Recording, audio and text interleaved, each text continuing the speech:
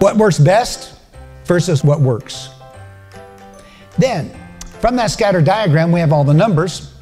Five kids got eight right, that's 40 questions right. Uh, six kids got seven right, that's 42 more, and you add it up.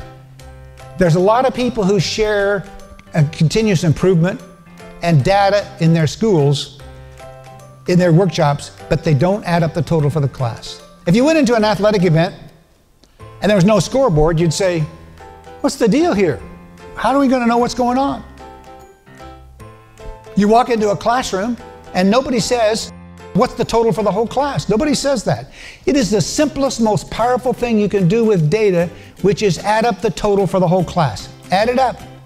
If it's rubric scores, add it up.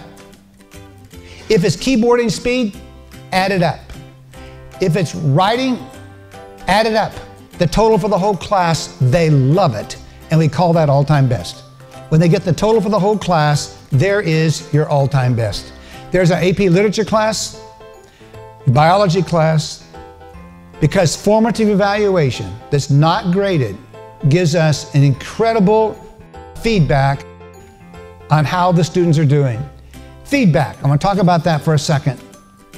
Feedback is teacher to kid, but the most powerful feedback is kid to teacher.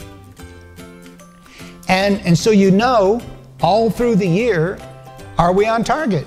We've used up 40% of the time. Are we getting 40% right as a class? We used up 75% of the time. Are we getting 75% right as a class? We, we know where we are when we add up the total.